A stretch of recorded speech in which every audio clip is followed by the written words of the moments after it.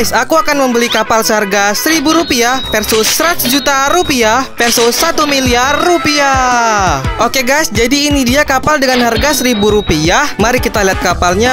Wih, nih? Kapalnya sudah jabuk, berlumut, dan ini sudah bocor ya guys. Dan sepertinya penumpangnya sudah tewas ini. Waduh, kacau guys. Kapal ini ku kasih rating 1 per 10. Oke guys, jadi ini dia kapal dengan harga 100 juta rupiah. Dan ini dia kapalnya.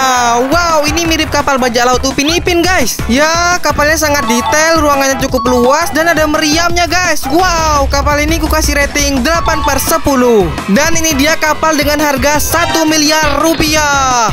Guys, aku mau challenge kalian bisa nggak klik like video ini dengan mata tertutup? Pasti nggak bisa. Ternyata ini kapal tempur guys. Di sini disediakan ruangan dan kamar untuk TNI. Ada juga tank tempur dan lintasan untuk pesawat jet. Let's go. Menurut kalian rating kapal ini berapa guys?